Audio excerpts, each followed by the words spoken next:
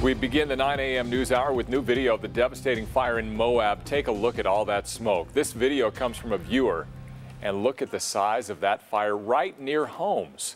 Firefighters still keeping an eye on hot spots this morning. Investigators are looking into what caused the fire. And destroyed eight homes already and two garages. Fox 13's Kiersten Nunez joins us live from the neighborhood. She's been talking to those affected by the fire. Good morning, Kiersten.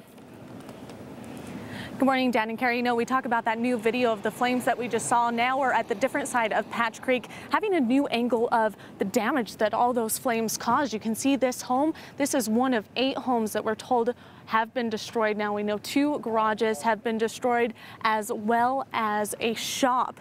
Now, this is still setting in for this small community. They're really banding together during this tragedy, but it's been less than 24 hours since the flames took over this area, and crews say the wind and dry conditions made it so the fire quickly got out of control, destroying those eight homes and the other structures. Agencies here in Moab and surrounding areas quickly responded, making it so the fire didn't spread, and around 100 people were evacuated. Now, crews spent most of the night mopping up several hot spots and those hot spots are still continuing to pop up now into the 9 o'clock hour. And it's making it so those who were evacuated could not go home last night, but now we are seeing people coming back into their homes.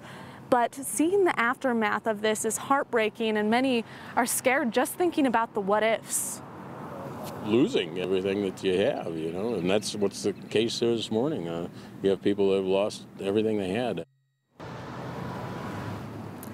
The fire marshal is here. We're told he has two investigators. They're trying to figure an exact cause, and we've been waiting for an update all morning from Moab Police or Moab City. We're told we're supposed to get a press conference this morning. We're just waiting for a time, but coming up in our later shows, I'm going to have some great interviews of stories that you'll want to hear. One being of a woman who lost her home in this fire, and another being of a woman who her home was saved thanks to firefighters literally standing at her front lawn, making it so that fire didn't get to her house. We'll have those stories for you later in our newscast at 5 and 9.